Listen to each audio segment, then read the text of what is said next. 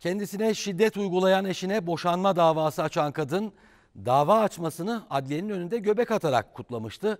Genç kadın bugün yani Dünya Kadınlar Günü'nde boşandı ve erkek terörüne kurban giden kadınların hayrına lokma tatlısı dağıttı.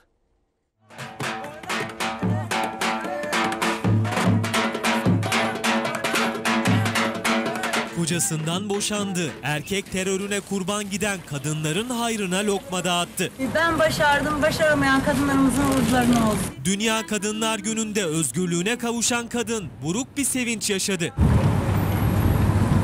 Bursa'da yaşayan 47 yaşındaki Meryem Karaş 71 yaşındaki eşinden şiddet görüyor, tehdit ve hakarete uğruyordu.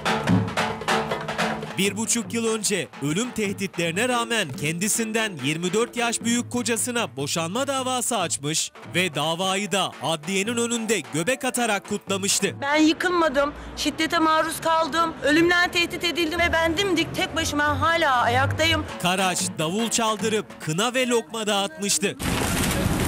Ve merakla beklenen dava bugün sonuçlandı. Hakim çifti boşadı. Karaş özgürlüğüne 8 Mart Dünya Kadınlar Günü'nde kavuştu. Ben başardım, başaramayan kadınlarımızın uğurlarına olsun. Karaş canına bir zarar gelmeden eşinden kurtulmuştu. Ama erkek şiddetine kurban giden yüzlerce kadın için lokma dağıttı.